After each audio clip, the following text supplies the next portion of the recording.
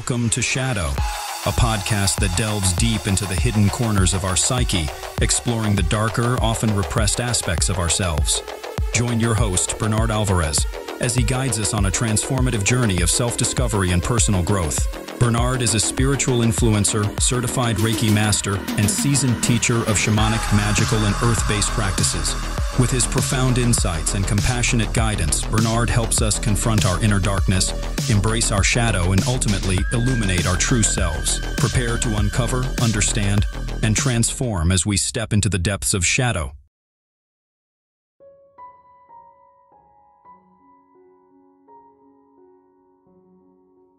Welcome back, everyone, to another episode of Shadow, where we dive deep into the hidden aspects of ourselves to unlock our full potential and live more authentically.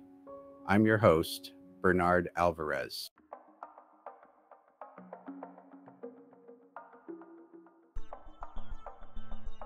In our last episode, we introduced the concept of the shadow self those parts of us we've hidden away, often due to societal pressures or personal fears. Today, we're going to explore a darker side of this story how the shadow has been systematically suppressed throughout history. The shadow self, as we've discussed, is a fundamental aspect of human psychology. It's the repository of our repressed desires, fears, and instincts. But what if I told you that acknowledging and integrating your shadow isn't just a personal journey, but a spiritual one as well? And what if I suggested that for millennia, forces have been at work to keep us in the dark about our shadow selves?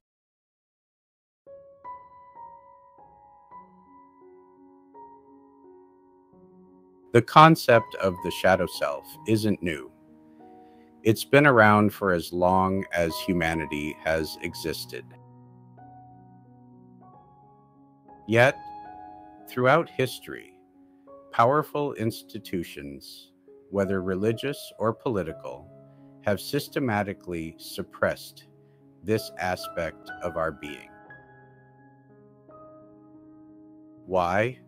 Because when we truly understand and integrate our shadow, we become empowered, harder to control, and more in tune with our true selves. Today, we'll uncover how this suppression has played out across different eras and discuss how spiritual practices, especially those rooted in the occult and magic, have always called on us to embrace our shadow for greater spiritual power. Let's start by looking at how the idea of the shadow self has been suppressed throughout history. From ancient times to the present day, various religious and political institutions have played a role in keeping people disconnected from their shadow.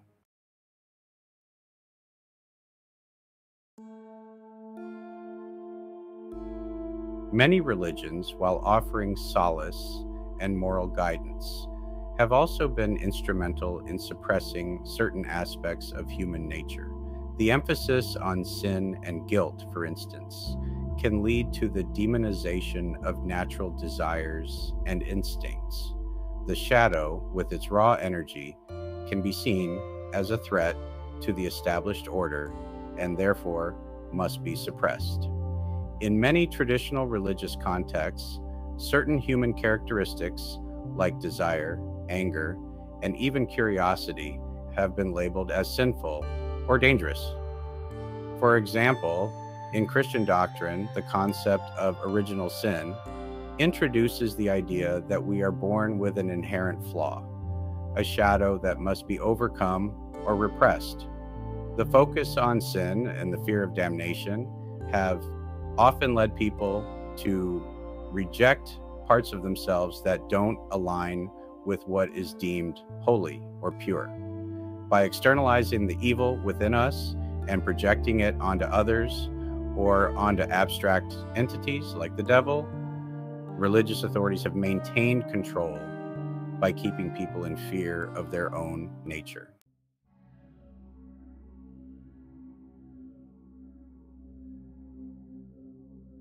Politics has also played a role in shadow suppression.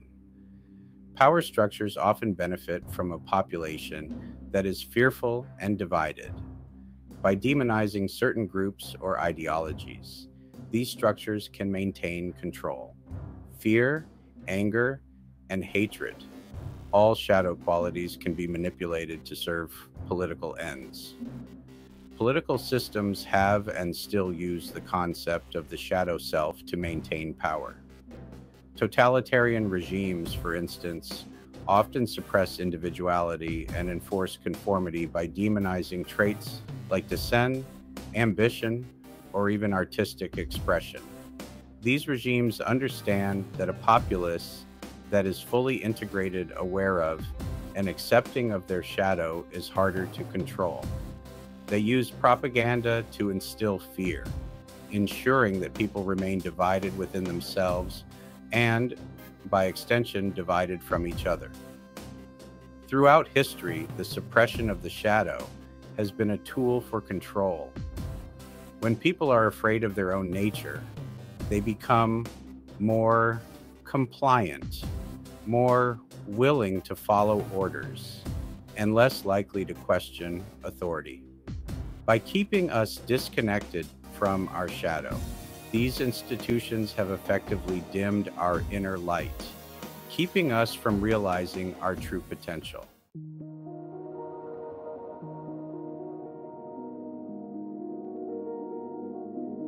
But it wasn't always this way.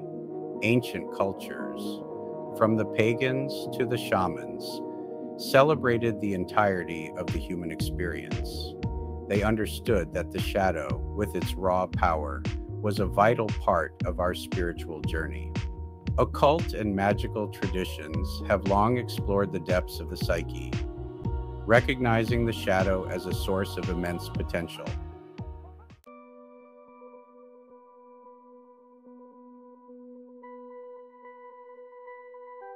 Now let's shift our focus to how shamanic, pagan, occult, and magical practices view the shadow self. These traditions have always understood that true spiritual power comes from integration, not suppression. In occult practices, the shadow is often seen as a source of great power. Rather than something to be feared, it is something to be embraced and integrated. This perspective is reflected in the practice of shadow work which involves consciously exploring the darker aspects of the self to bring them into the light of awareness. By doing so, we not only heal, but also unlock parts of ourselves that are vital to our spiritual growth and empowerment. The Kabbalistic Tree of Life offers a profound example of this integration. At the top of the tree is Keter, the crown, representing pure, undivided divine energy. As this energy flows downward, it splits into the opposing forces of Chokmah wisdom and Binah understanding. These two Sephiroth represent the duality inherent in all things light and dark, masculine and feminine, active and passive. Yet, despite this split, these mm-hmm. energies are united in Keter, reminding us that all dualities ultimately come from and return to the same source. This unity is what spiritual practices encourage us to achieve within ourselves. By integrating our shadow, those parts of us that we may have been taught to reject, we become whole. This integration enhances our spiritual power allowing us to connect more deeply with the divine and with our true selves. In many magical traditions, rituals and practices are designed specifically to facilitate this integration, whether it's through the invocation of deities, the use of symbols, or the casting of spells. The goal is often to bring together the conscious and unconscious aspects of the self. When we do this, we can manifest our desires more effectively and live more authentically. For example, shamanism, a spiritual practice rooted in ancient traditions, offers profound insights into the integration of the shadow self. A core component of shamanic practice is the journey, a state of altered consciousness, accessed through drumming, chanting, or other techniques. This journey allows the shaman to interact with spirit guides and explore both the upper and lower worlds. The lower world in shamanic cosmology is often associated with the unconscious mind, the realm of the shadow self. By journeying to this underworld, the shaman encounters the darker aspects of the psyche.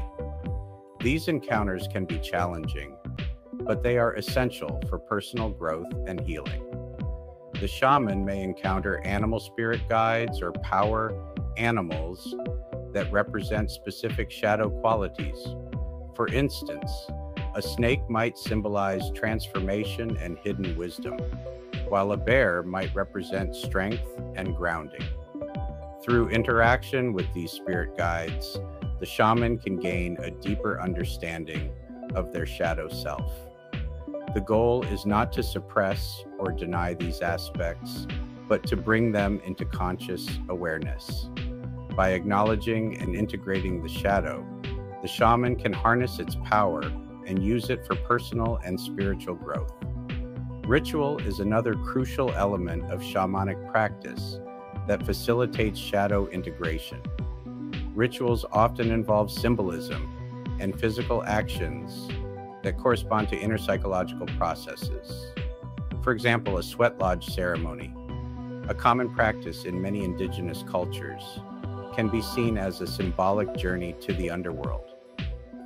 The heat and darkness of the lodge create a space for introspection and confrontation with the shadow self.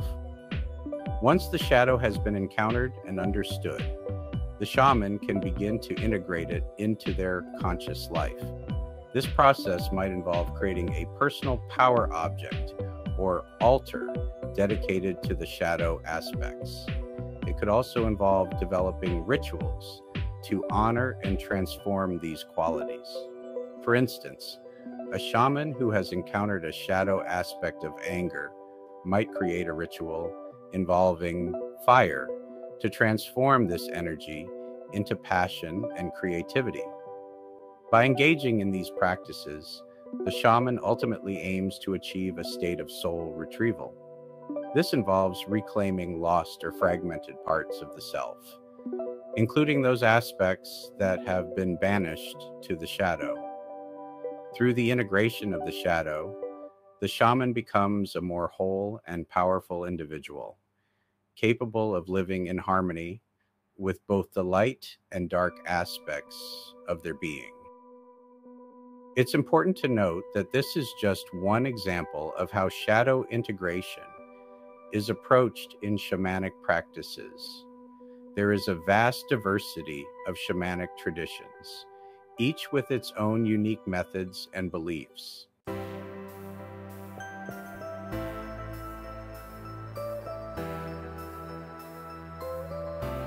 Now, let's talk about some practical exercises you can use to better understand and integrate your shadow from a spiritual perspective.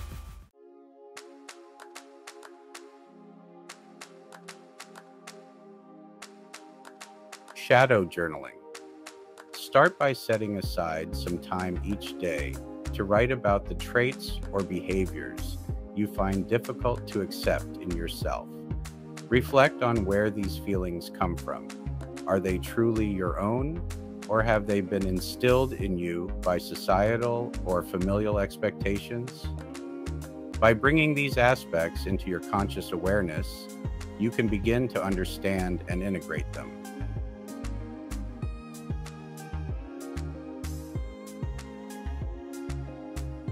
Mirror work. Stand in front of a mirror and look into your own eyes. As you do, speak aloud the qualities you find challenging about yourself. Acknowledge them without judgment. This exercise helps you to face your shadow directly and begin the process of acceptance.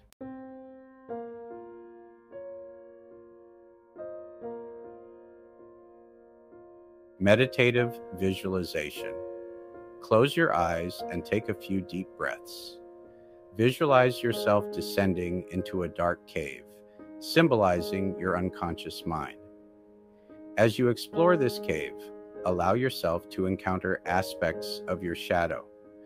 These might appear as symbols, figures, or even memories.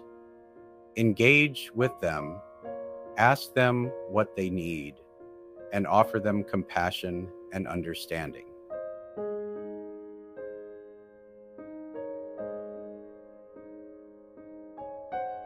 Kabbalistic reflection.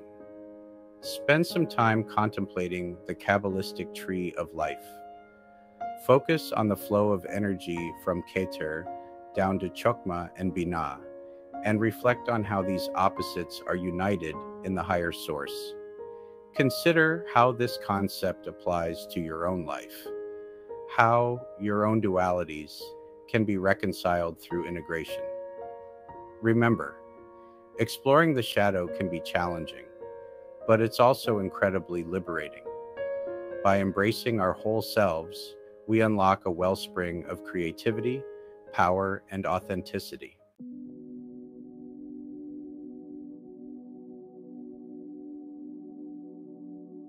Let's end today's episode with a short meditation to help you connect with and integrate your shadow self.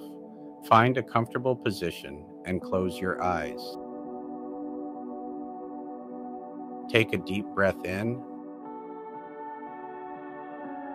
And as you exhale, let go of any tension you might be holding in your body.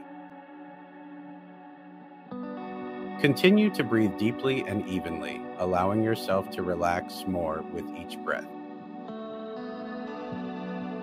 Now imagine a warm golden light surrounding you, filling you with a sense of peace and safety. This light represents your higher self, your true essence. As you bask in this light, begin to invite the darker aspects of yourself to come forward.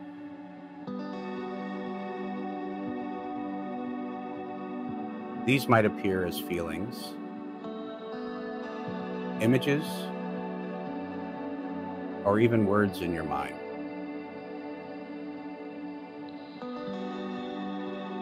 Allow these aspects to step into the light with you. There is no need to force anything. Just let them come naturally. As each one appears, acknowledge it with kindness and understanding. Say to each aspect, I see you. I accept you. And I welcome you into the light. Feel the warmth of the golden light growing stronger as you integrate these aspects of your shadow. Know that by doing so, you are becoming more whole, more powerful, and more authentically you. When you feel ready, take one more deep breath in, and as you exhale, slowly open your eyes, bringing this sense of wholeness with you into your day.